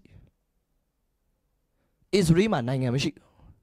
ဒါပေမဲ့ယေရှုပြန်လာရင်ရှိရမယ်လို့ပြောထားတယ်။ကြောင့် Israel တွေကလေ1948မှာ prophetic timing အကွက်တိမှာသူတို့နိုင်ငံကိုပြန်ရတယ်။နိုင်ငံပြန်မရခင်ဘာဖြစ်လဲ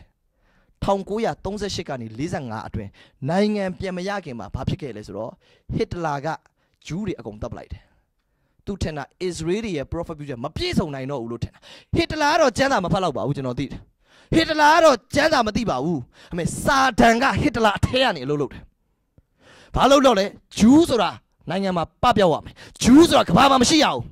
ဘာဖြစ်လို့လဲဂျူးနိုင်ငံပေါ်လာမှာတိတ်ကြောက်တယ်အစ္စရေးနိုင်ငံပေါ်လာမှာကြောက်တယ်ဘာဖြစ်လို့ဆို prophecy ကိုစာရန်သိတယ် prophet ပြုချက်တွေပြည့်စုံမှာတိတ်ကြောက်တယ်အမေ prophet ပြုချက်တွေကနီးလာလေးလေး activate ဖြစ်လာလေးလေးအဲ့မှာစာရန်ကချက်ချင်းပဲဟစ်တလာထဲကိုဝင်ပြီးဟစ်တလာကနေတစ်စဂျူးတွေကိုလူမျိုးတုံးတပ်ပလိုက်တယ်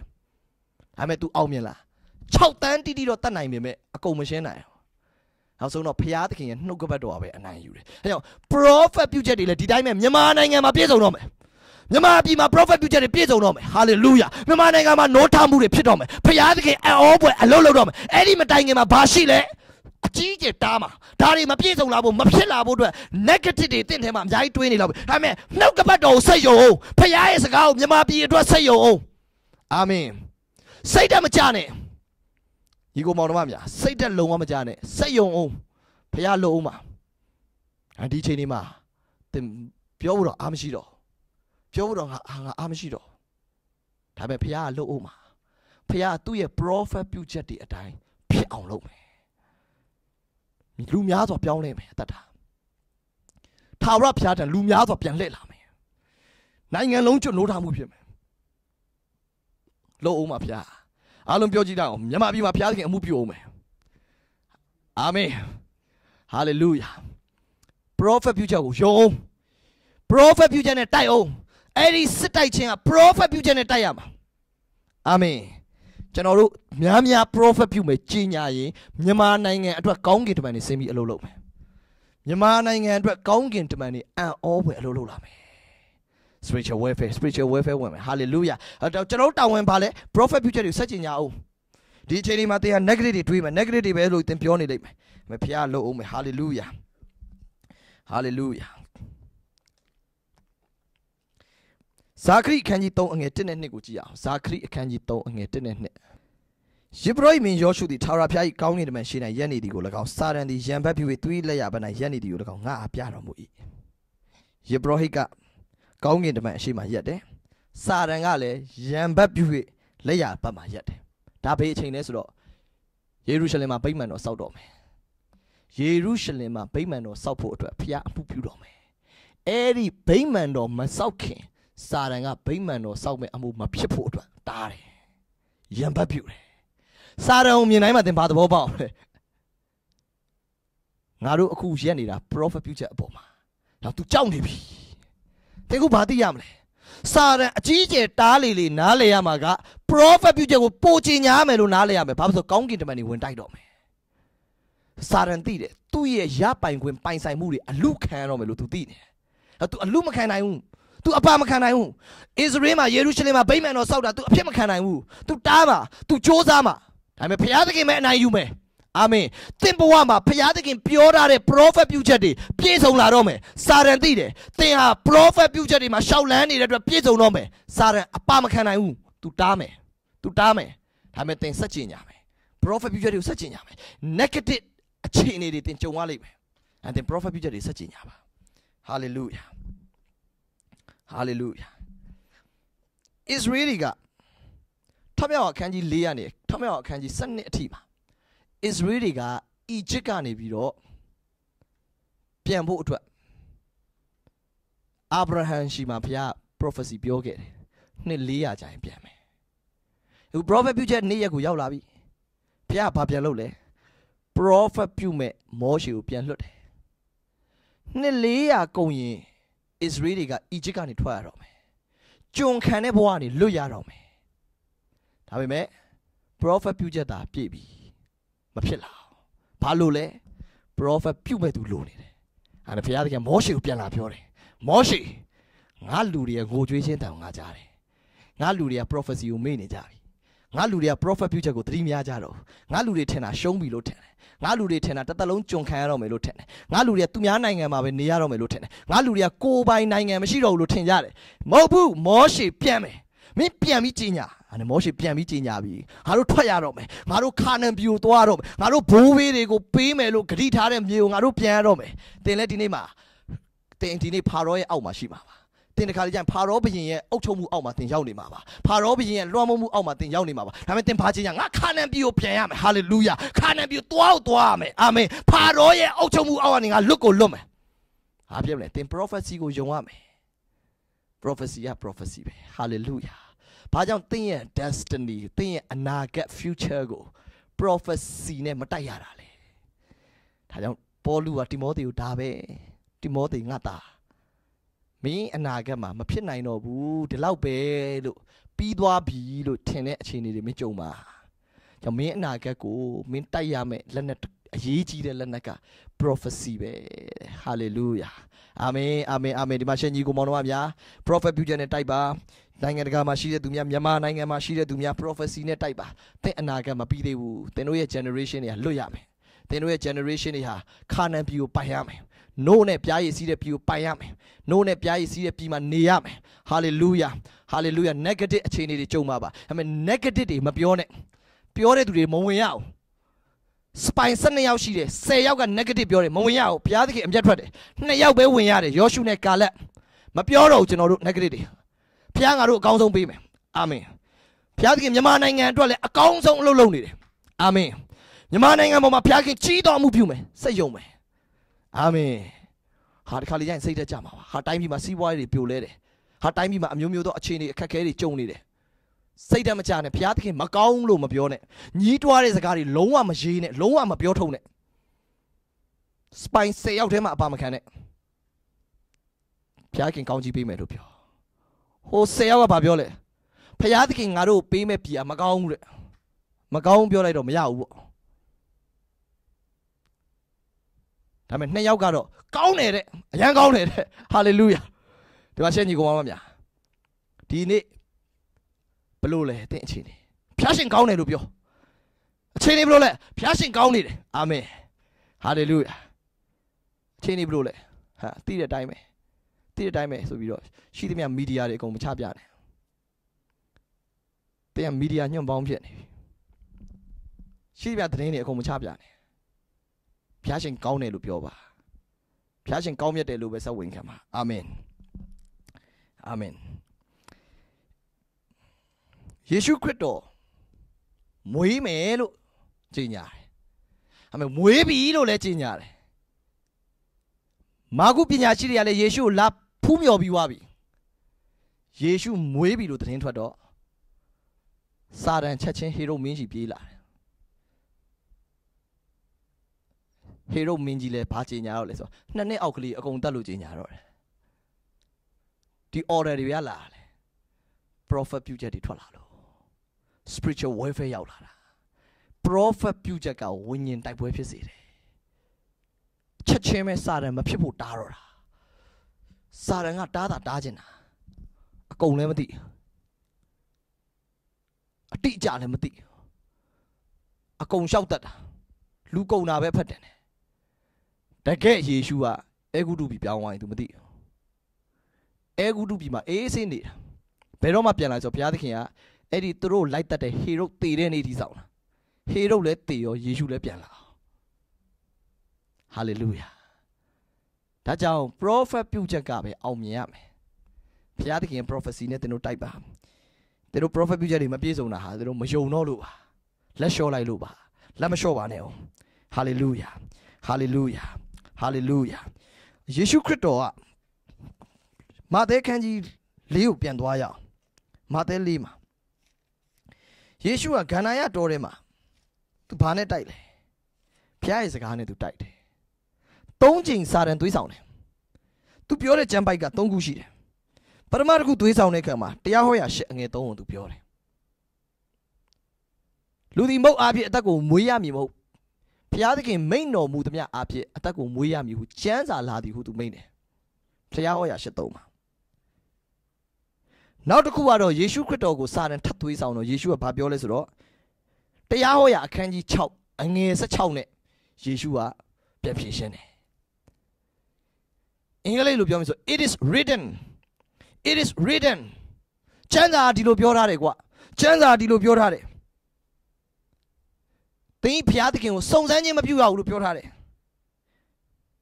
နောက်တစ်ခုကတော့ထွတ်မြောက်ရာအခန်းကြီး34အငယ်14အဲ့ဒါတတိယမြောက်ယေရှုစာတန်လာပြီးပြောတဲ့အခါ spiritual warfare မှာကျွန်တော်တို့အနာဂတ်ကို prophet ပြုချက်နဲ့တိုက်ရမယ်နှုတ်ကပတ်တော်နဲ့တိုက်ရမယ်ဖျားစကားနဲ့တိုက်ရမယ်အယေရှုလည်းသူ့ရဲ့အနာဂတ်အတွက်စာတန်စီးတားပြီ ယေရှုအဲ့အနာဂတ်ကိုမရောက်ဖို့အတွက်အဲ့ဒါအဲ့တားတဲ့ခါမှာယေရှုက၃ခုသုံးရတယ်ကျမ်းစာ၃ခုသုံးတယ်တရားဟောရာ၈၃တရားဟောရာ6အငယ်16ထွမြောက်ရာ34အငယ်14ယေရှုသုံးပြီယေရှုဒီကျမ်းချက်၃ခုလဲသုံးတော့သုံးလဲပြီးတာနဲ့စာရလစ်ပြီစာရမနေတော့ဘာဖြစ်လို့လဲသုံးခါပဲဘာလို့ပြောတာလဲပ ထမတစ်ခါပြောကြရဘာလို့မပြန်တာလဲသုံးခါကြာမှစာရန်မောရလားအဲ့ဒီသုံးခါပြီးတော့ကောင်းကင်တမန်ရောက်လာတယ်ယေရှုကိုချက်ချင်းလှုပ်ကြွေးပြုစုတယ်သင် prophet ပြုချက်တွေကိုဆက်ပြီးပြည့်စုံဖို့ရှောက်လန်းဖို့အတွက်စောင့်ရှောက်မယ်ကောင်းကင်တမန်တွေရောက်လာမယ်အဲ့မဲ့ဘာလုပ်ရမလဲသိလားဒီသုံးခုရှိတယ်တစ်ခုက it is written ကျမ်းစာလာသည်ကကျမ်းစာမှာရေးထားတယ်စာတန်းရှိန်ဝါလားဆိုပြန်ရောက်လာဟာ it is written ဖြတ်ပြောတယ် စာရန်များရှိန်သွားပြီလားဆိုပြန်ရောက်လာတော့မယ်နှစ်ခါနောက်တစ်ခေါက်ကျတော့တတိယတစ်ခေါက်ကျတော့လူကာခန်းကြီးလေးအငယ်7နှစ်မှာဒီလိုရေးတယ် it is said ပထမနှစ်ခုက it is written ဒါရေးထားတယ်ကြောင့်ဖျားစကားမှာနှစ်မျိုးရှိတယ်ရေးတာရေးသားထားသောဖျားစကားနဲ့ယနေ့ပြောသောဖျားစကား logos နဲ့ rima နဲ့ပြောတဲ့ဖျားစကားနဲ့ ရေးထားတဲ့ဖျားစကားရေးသားထားသောဖျားစကား logos က Greek လို့ logos လို့ခေါ်တယ်အဲ့ဒါဒီစာအုပ်ထဲဟာဒါမဲ့ဖျားသခင်ဖွင့်ပြပြီးပြောလိုက်တဲ့စကားကြတော့အဲ့ဒါ rima rima ကြောင့်ဖျားသခင်ပြောတဲ့စကားအဒီမှာဘာတွေ့ရလဲဆိုမြန်မာလူမှာတော့ it is written လူကာ14လူကာ4စနစ်မှာ King James version မှာကြတော့တတိယမြောက်မှာတော့ယေရှုက it is written လို့မသုံးတော့ it is said ရေးသားတာမဟုတ်တော့ it is rima logos မဟုတ်တော့ logos နဲ့တိုက်တယ်စာတန်ပြန်ရောက်လာအော်သူသူကျမ်းစာဖတ်ထားလို့နေမှာပါနောက်တစ်ခေါက်ပြန်ရောက်တယ်အော်သူကျမ်းစာဖတ်ထားလို့နေမှာပါဒီနေ့မှာကျွန်တော်တို့ဘဝမှာလဲယုံကြည်သူတွေမှာ logos ရှိတယ်ရေးသားထားသောကျမ်းစာရှိတယ်စာတန်ကပြန်ရောက်လာတာပဲပြန်ရောက်လာတာပဲဒါပေမဲ့တတိယတစ်ခေါက်တော့ယေရှုက ငါ့ကိုဖျားပြောတယ်ကွာဟာလေလုယာမြန်မာလူမှာတော့ကျမ်းစာလာဒီကားပေါ့နော်ဒါပေမဲ့ရီမာရဲ့ပုံစံကပါလေဖျားရှင်ငါ့ကိုဒီနေ့ပြောထားတယ်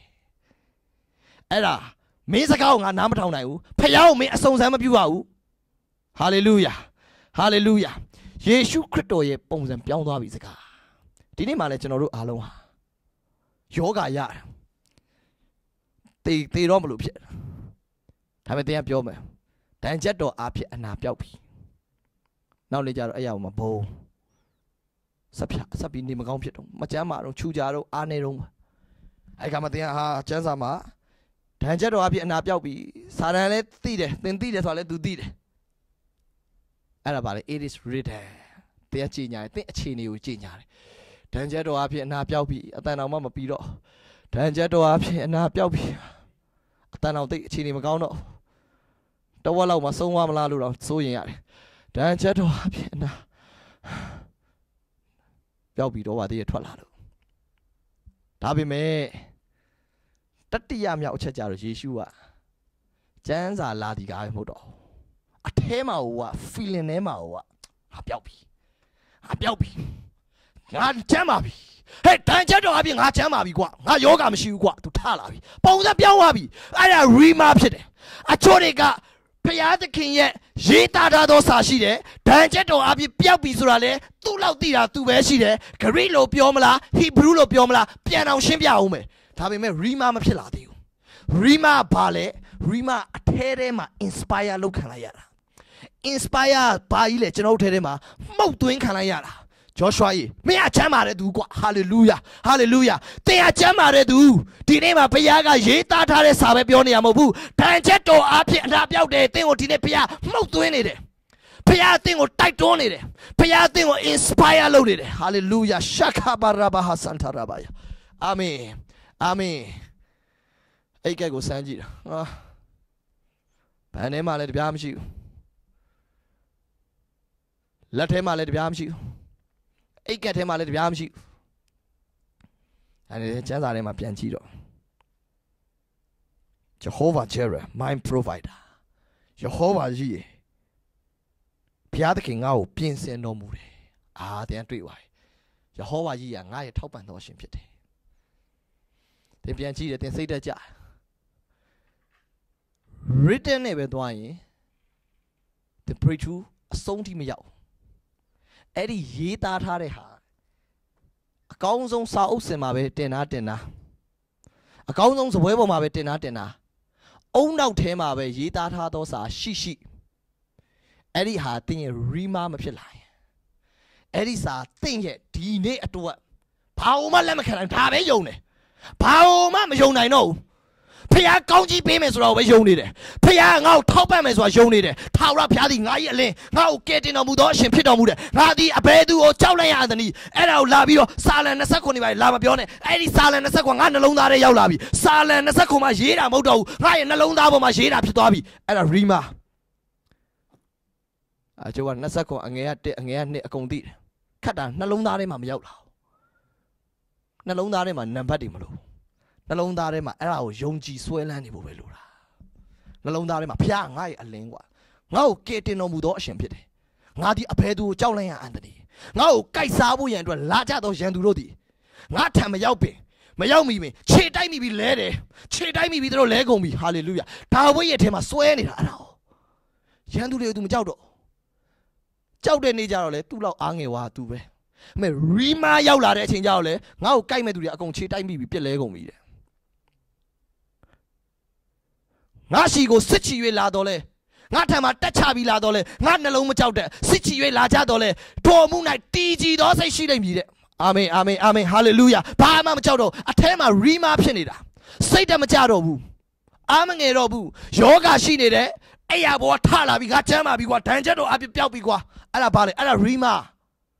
လောကော့စ်ကလူတိုင်းသိတယ်ဒဏ်ချက်တော့အပြပျောက်ပြီဟေရှာ53လာလိမ့်မယ်ငဲငါဆိုပြီးတော့ပြောလိမ့်မယ် မသိတာမဟုတ်သိတယ်ဒါပေမဲ့ရီမာမဖြစ်လာတာ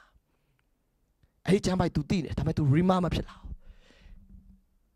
ယေရှုခရစ်တော်ရှိကိုစာတန်ကလာတယ်ယေရှုကလည်းပြောတယ်ကျမ်းစာလာဒီက it is written နောက်တစ်ခေါက်ပြန်လာတယ်စာတန်အာ it is written နောက်တစ်ခေါက်လည်းပြန်လာကော it is set ဟေးငါထဲမှာတော့ဆွဲလန်းနေပြီပြန်လာဖို့မစင်စားနဲ့တော့အာမင်ဒီနေ့မှာပြောရမယ်ယောဂါတွေကိုပြောပြရမယ်ဟေးမင်းငါထံပြန်လာဖို့မင်းမစင်စားနဲ့ဟာလေလုယာဟာလေလုယာစင်ရဲ့ချင်းအမင်္ဂလာတွေကိုပြောရမယ်ဟေးငါစီးပွားရေးမှာရှုံးမှာမဟုတ်ငါစီးပွားတက်ပြီကွာငါစီးပွားတက်ပြီဖခင်ငါ့ကိုထောက်ပံ့တဲ့အရှင်ငါ့ကိုကောင်းကြီးပေးမှာအာဗြဟံကိုကောင်းကြီးပေးတယ်ဖခင်အိဆက်ကိုကောင်းကြီးပေးတယ်ဖခင်ယာကုပ်ကိုကောင်းကြီးပေးတယ်ဖခင်ငါ့ကိုလည်းကောင်းကြီးပေးမှာဒီ season မှာကောင်းကြီးပေးမယ်အဲ့ဒီ financial crisis မှာအာဗြဟံကိုချီးမြှောက်ခဲ့တယ်အစာခေါင်းပါတဲ့ချိန်အိဆက်ကိုချီးမြှောက်တယ်အစာခေါင်းပါတဲ့ချိန်ယာကုပ်ကိုကျွေးမွေးခဲ့တယ်အစာခေါင်းပါတဲ့ချိန်ယောသက်ကိုစီးပွားရေးမှာဥဆောင်ခိုင်းတယ်ဒီ financial crisis မှာငါဥဆောင်အောင်မယ်ငါ့ကိုဘုရားကောင်းကြီးပေးအောင်မယ်ငါအမြင့်ဆုံးရောက်မယ်ငါထိတ်ကိုရောက်မယ်ဒါပါလေဒါ logos မဟုတ်တော့ logos ကတော့အဲ့ဒါ abraham logos ကတော့အဲ့ဒါ isaac logos ကတော့အဲ့ဒါယာကုပ် logos ကတော့အဲ့ဒါယောသက်ဒါပေမဲ့ rima ကတော့ joshua အေး rima တော့ငါပဲ rima မှာတော့ငါဖြစ်မှာ ငြိမ်ပြီးမနေနိုင်တော့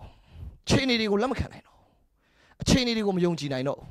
ဒီနေ့မှာပါဝင်တဲ့ညီကိုမောင်နှမများဒီနေ့မှာတင့်ရှိကို Rima ရောက်လာပါစေ Rima ရောက်လာပါစေ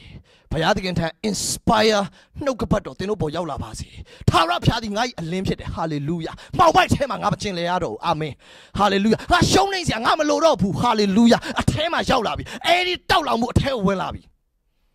Hallelujah. Korababa Santa Rabaya. Hilabaka Santa Labaya Shakabaya. Oh Lababa Santa Laba. ငါထဲမှာရှိတဲ့သူကလောကဘက်မှာရှိတဲ့သူတည်းသာ၍ကြီးတယ်ဟာကျမ်းချက်တွေလာမပြောနဲ့ငါအထဲမှာအဲ့ဒါကြီးရောက်နေပြီငါအထဲမှာသိနေပြီဟာဘုရားသခင်ငါဘက်မှာရှိနေတယ်အာမင်အာမင်အခြေအနေတွေတိုင်းမှာတင်ဝန်မခံတော့ဘူးအခြေအနေမှာမလဲတော့ဘူး တိမောသေကိုပေါလုကပြောတယ်ငါသား prophet ပြုချက်နဲ့တိုက်ပါငါသားငါစကားကိုနားသွင်းတော့နှလုံးထဲမှာစောင့်ရှောက်လို့ထိုတရားစကားကိုတွေ့ရတော်သူတို့သည်အသက်ရှင်ခြင်းနဲ့တကိုယ်လုံးကြမ်းမာခြင်းကိုတွေ့ရပြီနှလုံးသည်အသက်ရဲ့အခြေအမြစ်ဖြစ်တော့ကြောင့်အထူးသဖြင့်တင်းရဲ့နှလုံးကိုစောင့်ရှောက်လို့ဘာပဲဆိုလဲမလဲရီမာအဖျားဒီနေ့မှစကားပြောတယ်ငါ့ကိုကြမ်းမာပြီလို့ပြောတယ်အဲ့ဒါနှလုံးထဲမှာစောင့်ရှောက်တာ တချို့ကစမ်းစာတိတယ်စမ်းချက်ကတိတယ်ကြားထားတယ်ဒါပေမဲ့နှလုံးထဲမှာမတွေ့သေးထိုးတရားစကားကိုတွေ့တော်သူလို့ဆိုတော့နှလုံးထဲမှာစောင့်ရှောက်ပြီးတွေ့နေတာအဲ့နှလုံးသားထဲမှာအဲ့နှလုံးသားထဲမှာအယတာဖြစ်နေတာအဲ့ဒီကြမ်းပိုက်ကိုသူအယတာဖြစ်နေတာဟာလေလုယာအဲ့ဒီကြမ်းပိုက်ကဒီနေ့အတွက်အဖြေလို့ဖြစ်နေတာအဲ့ဒီကြမ်းပိုက်ကဒီလအတွက်အဖြေလို့ဖြစ်နေတာအဲ့ဒီကြမ်းပိုက်ကဒီ2021အတွက်အဖြေလို့ဖြစ်နေတာဒီ2021ဒီဇင်ဘာမှာငါမတ်တရက်ခွင့်ရမှာဒီကြမ်းပိုက်အတိုင်းလို့ယုံနေတာဟာလေလုယာဟာလေလုယာဒါကြောင့်ဘယ်နိုင်ငံမှာတင်နေနေလဲအဲ့ဒီနိုင်ငံမှာချီးမြှောက်ခံမယ်လို့ယုံ အာမင်အဲ့နိုင်ငံမှာကောင်းကြီးရမယ်လို့ယုံအဲ့နိုင်ငံမှာအောင်မြင်တော့မယ်လို့ယုံဟာလေလုယာဟာလေလုယာမလေးရှားနိုင်ငံကြီးမှာဘာတွေထိုးကြသွားပြီလဲဟုတ်ကမ္ဘာမှာဘာတွေထိုးကြသွားပြီလဲအားလုံးထိုးကြလိမ့်မယ်ဒါပေမဲ့ကျမ်းစာပြောထားတဲ့နှုတ်ကပတ်တော်ပေါ်မှာတိဆောက်တဲ့သူကကြောက်ပေါ်မှာအိမ်ဆောက်တဲ့သူနဲ့တူတယ်ဒါကြောင့်မလို့မိုးရွာ၍ရေစီး၍လေပဲလာလာထိုးကြောက်ပေါ်မှာတိဆောက်တဲ့အိမ်ကမပြိုလဲဘူး လုံးဝမပြိုလဲဘူးအဲကြောင့်ယေရှုကပြောတယ်လူဒီမုတ်အားဖြင့်အသက်ကိုမွေးရမည်မဟုတ်ဟုတ်တယ်စိုင်နေမှာမုတ်တွေကုန်သွားပြီဟုတ်တယ်စိုင်နေမှာမုတ်မရှိတော့ဘူးဒီနေ့နိုင်ငံတကာကနေပစ္စည်းတွေမဝင်လာတော့ဘူးလူဒီမုတ်အားဖြင့်အသက်မမွေးဘူးဖရာသခင်မိန့်တော်မူသမျှအားဖြင့်အသက်မွေးတဲ့အတွက်ဘာဖြစ်သွားပြီလဲဈေးနှုန်းတွေပြောင်းသွားပြီလားဘာတွေအတက်ကြဖြစ်လာပြီလဲဒါပေမဲ့ဖရာသခင်ရဲ့စကားအဲ့ဒီအလယ်မှာငါ့ကိုအောင်မြင်မယ်လို့ပြောထားတယ်ဒါကြောင့်ငါနှလုံးမကြောက်တဲ့စစ်ချီ၍လာကြတော့လဲငါနှလုံးမကြောက်တဲ့အာမင်ထော်အမှု၌တည်ကြည်တော်မူရှိလိမ့်မယ်ဘယ်သူတွေတည်ကြည်မလဲ ဘယ်သူတွေတည်ကြည်လဲဆိုတော့ဖျားစကားရီမာကိုကြားတဲ့သူတွေတည်ကြည်တယ်တည်ကြည်တယ်ရီမာအတန်ရထားတဲ့သူတွေတည်ကြည်တယ်ဒီအချိန်မှာဒီလူတွေဒီအဲ့ဒီလူတွေကဝေးမှမကြည့်တော့ဒီထဲမှာရှိတယ်အခုပါဝင်နားထောင်နေတဲ့သူတွေဟာဒီပြဿနာတွေမှာတည်ကြည်ခြင်းရှိတော့မယ်မနဲ့မိုးလင်းလိုက်ပြုံးပြီးထားတော့မယ်မနဲ့မိုးလင်းလိုက်ဟာတရင်ကလည်းဘာဖြစ်အောင်မလဲမသိဟွန်းဟိုမျိုးမှာတော့ပြဿနာတွေတက်နေပြီ ကဘာမှာတော့တရားတွေကြီးညာနေပြီဟိုတယောက်ကပြောတာအခုကနောက်ဒီကာလဒီစီးပွားလုံးမှာကြိုက်မယ်လို့ပြောတယ်ဒီစီးပွားကြိုက်မယ်လို့ပြောပေမဲ့လည်းဟိုတယောက်ကဒီလိုကြီးညာလာပြန်ပြီဘယ်အရောင်ငါဘာလုပ်ရမှာလဲဒါပေမဲ့ဖျားစကားအရန်အထဲထဲမှာ rima လို့ပဲ inspire ဖြစ်လာတဲ့အခါ။အော်အာဗြဟံချမ်းသာတာတော့ချမ်းသာတာပေါ့။ အော်ဣဇက်အစာခေါင်းပါတဲ့ချိန်အစာ100ရတာတော့ရတာပေါ့။အစာ30အစာ60အစာ100ငါလည်းသိပါတယ်။အဲ့ဒါအဲ့ဒါ logos အဲ့ဒါသင်ဖတ်ထားတယ်။ဒါပေမဲ့သင်ခဏခဏဖတ်တယ်ခဏခဏကိုရွတ်နေခဏခဏပြောနေတယ်။ယေရှုကရက်40အစာရှောင်တဲ့အချိန်မှာ rima ရလာတယ်။ယေရှုကရက်40အစာရှောင်တဲ့အချိန်မှာအစာကတော့ logos ပဲ it is written ယေရှုကရက်40အစာရှောင်တဲ့အချိန်မှာ it is written အာ तू อ่ะ it is written နဲ့ပဲ तू သွားနေတယ်ဒါပေမဲ့နောက်ဆုံး final မှာတော့ it is set hallelujah သူ့ထဲမှာရုတ်တရက်ထိန်းဆိုပြီးအလင်းရသွားပြီရုတ်တရက်အထဲမှာဗျာဒိတ်တော်ရသွားပြီ hallelujah အဲကြောင့်မတိမောသေကိုပြောတယ်အဲ့ဒီဗျာဒိတ်တော်နဲ့တိုက်ပါငါမင်းကိုပြောခဲ့တဲ့စကား hallelujah ကျွန်တော်စိတ်ထဲကြတော့မယ်ဟာငါတို့အမှုတော်ဘယ်လိုဆက်ဖြစ်မှာလဲဆူတောင်းတယ်မကြမ်းပါတော့သူတို့ပေါ်မှာလက်ကိုတင်၍ချမ်းသာပေး In the name of Jesus be he တကေဝသား9ယောက်အတိုင်းပဲကျမ်းစာတွေကအတိုင်းပဲကျမ်းစာအပြင်အတိုင်းတော့မဟုတ်ဘူးကျမ်းစာတွေကအတိုင်းပဲတကေဝသား9ယောက်ဘာလုပ်လဲယေရှုနာမ၌ဆုတောင်းတာနတ်ဆိုးကသူတို့ဝိုင်းကြိုက်ထွက်ပြေးရတချို့လဲကျမ်းစာတွေကအတိုင်းတော့ကျမ်းစာတွေကအတိုင်းပဲမအနာပြောက်သွားမှာမဟုတ်နတ်ဆိုးကကိုယ်ပြန်ကြိုက်လို့ပြေးရဒဏ်ချက်တော်အဖြစ်အနာပြောက်ပြီနောက်နေဖုန်းဆက်လာတေးသွားပြီ ဟာယေရှုနာမ၌ငြိမ့်ပြီကွာလူနာပြောတယ်ဘာမှမထူးကြဘူးလေဒါပေမဲ့ prophecy ကအဲ့လိုမဟုတ်ဘူး prophecy က Joshua အေးတေတဲ့သူတွေပြန်ထားမယ် prophecy က Joshua အေးနိုးထမှုလုပ်ရမယ်အလူမျိုးတကာတို့တရားဟောရမယ်အင်္ဂလိပ်လိုကထွက်လာလိုက်အမားတွေပဲအင်္ဂလိပ်လိုကဟောလိုက်တလုံးမှမမှန်ဘူး ဒါပေမဲ့ prophecy ကအဲ့လိုမဟုတ်ဘူးအဲ့ဒီခံစားချက်တွေပျောက်သွားတဲ့အထိ prophet ပြုချက်ကိုဆွဲလန်းရမယ် hallelujah hallelujah အဲ့ဒီခါမှာ prophet ပြုချက်ကအထဲထဲမှာ rima ဖြစ်လာတယ်ဖျားစကားဟိုစာအုပ်ထဲမှာရေးထားတဲ့ record ထဲမှာရှိတဲ့ it is written မဟုတ်တော့ဘူးအဲ့ဒီဖျားစကားက it is set ငါအထဲမှာပြောနေပြီငါ့ကိုပြောနေပြီ Joshua အေးလူမျိုးတကာကိုကောင်းကြီးဖြစ်စေမယ် Joshua အေး မင်းစုတောင်းတည်တဲ့သူတွေထလာမယ်ဂျောရှွာရဲ့မင်းစုတောင်းရဲ့အနာရောဂါတွေငြိမ်းလာမယ်ဟာဟာလေလုယာဟာလေလုယာဟာလေလုယာအဲ့ဒီခါမှာမလျှော့တော့ဘူးမလျှော့တော့ဘူးဟာလေလုယာဟာလေလုယာဟာလေလုယာပြောတဲ့အင်္ဂလိပ်စကားလုံးလားပြောတဲ့ဘာစကားနဲ့ပဲပြောပြောလူတွေကောင်းကြီးဖြစ်လာပြီဘာပဲပြောပြောလူတွေကောင်းကြီးဖြစ်လာမယ်ရှာခါဘာရာဘာဟာစန်တာရာဘာဒီမှာပါဝင်တဲ့ညီကောင်မောင်နှမများဒီနေ့ prophet ပြုချက်နဲ့တိုက်ပြအဲ့ပြဿနာတွေကို prophet ပြုချက်နဲ့ဖြိုပြအချိန် လေးတွေကို hallelujah hallelujah ဒီနေ့မှာဝန်ခံစေခြင်းနဲ့အားလုံးပဲမိမိရှိတဲ့နေရာကနေပြောစေခြင်းနဲ့ကြွေးကြော်စေခြင်းနဲ့ကြွေးကြော်စေခြင်းနဲ့ကျမ်းစာလာဒီကားမဟုတ်ငါအထဲ၌လာဒီကားကျမ်းစာကငါနှလုံးသားထဲရောက်လာပြီစာရွက်ပေါ်မှာမဟုတ်တော့ငါနှလုံးသားပေါ်မှာကျမ်းဟောင်းတရားဒီအသက်ကိုသေစေတတ်၏ဘယ်ဟောင်းဘယ်ပါလဲကျမ်းဟောင်းတရားကြောက်ပြားပေါ်မှာမှင်နဲ့ရေးထားတဲ့စာအမေဗြိဉ္ဉ်တရားအသက်တရားအသက်ကတော့အသက်ကိုရှင်စေတတ်၏ ဘယ်မှာရေးထားလဲနှလုံးသားပေါ်မှာရေးထားတာဘာနဲ့ရေးထားလဲဝိညာဉ်တော်နဲ့ရေးထားတာဒီစာကဝိညာဉ်တော်ကကျွန်တော်တို့နှလုံးသားတွေကိုမှုတ်လိုက်တာအထဲထဲမှာဟာတန်ချက်တော်အပြင်ကအနာပြောက်ပြီဟာလေလုယာအဲ့ဒီကျမ်းစာတွေကကျမ်းစာတွေကစာကငါ့ကိုခွန်အားနဲ့ပြည့်စုံစေသောခရစ်တော်အပြင်ခတ်သိမ်းသောအမှုတို့ငါတဆန်းနိုင်ကျွန်တော်ထဲကိုရောက်လာတာအ ထဲထဲမှာငါတတ်နိုင်ပြီငါလုံးနိုင်ပြီငါမဖြစ်နိုင်တာဘာမှမရှိတော့ဘူးဟာလေလုယာဟာလေလုယာဟာလေလုယာရှာဘာဘာဘာဘာယာဟီရာဘာဘာစန်တာလာဘာဘာယာဟိုရာဘာကရှန်တာလာဘာဘာယာဟာလေလုယာဟာလေလုယာအကျမ်းစာကကျမ်းစာကထပ်ပြီးတော့ပြောတယ်ကျမ်းစာကထပ်ပြီးတော့ပြောတယ်ဖိလိပ္ပိဩဝါဒစာအခန်းကြီး၄မှာအခန်းငယ်16မှာငါဤဖျားသခင်ဘုံအာနုဘော်၌စံပေတော်မူသောစီးစိမ်ရှိသည့်အတိုင်းသင်တို့အလိုရှိသမျှကိုယေရှုခရစ်တော်အားဖြင့်ပြည့်စုံစေတော်မူလိမ့်မည် အဲ့ဒီစာဖိလိပ္ပိ4:19မှာမရှိတော့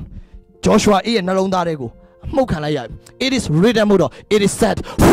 ကြောက်ထဲကိုရောက်လာတယ်ဟာငါဤဖျားသခင်ရဲ့ဘုံအာနုဘော်၌စံပေတော်မူသောစီးစိမ်ရှိသည့်အတိုင်းငါတို့အလိုရှိသမျှကိုယေရှုအားဖြင့်ပြည့်စုံစေပြီဟာငါကြွယ်ဝပြီငါကြွယ်ဝပြီငါမစင်ရတော့ဘူးထာဝရဘုရားသည်ငါ၏အလင်းထာဝရဘုရားသည်ငါ၏တိုးတိမ်ငါငါ့ကိုကယ်တင်တော်မူသောရှင်ဖြစ်တယ်ဟာလေလုယာဟာလေလုယာအဲ့ဒီစာရီယစာလန်23မှာမရှိတော့ဘူးစာလန်29မှာမရှိတော့ကျွန်တော်နှလုံးသားပေါ်မှုတ်ခံရပြီ အမှုတ်ခံရပြီထာဝရဘုရားသည်ငါ၏တိုးတိမ်ငါသည်စင်ရဲမခံရအောင်စိန်လန်းသောကျက်စားရအရက်မှာငါ့ကိုအိတ်စေတော်မူတယ်